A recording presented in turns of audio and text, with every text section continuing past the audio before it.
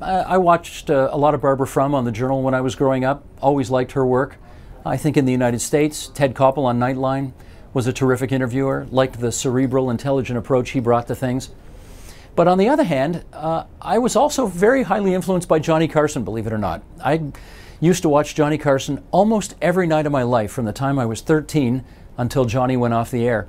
And I loved his curiosity mixed with humor, mixed with intelligence, mixed with a kind of a, an everyman's approach. So if you take the sort of journalistic approach plus the personable approach, I think somewhere in there is me.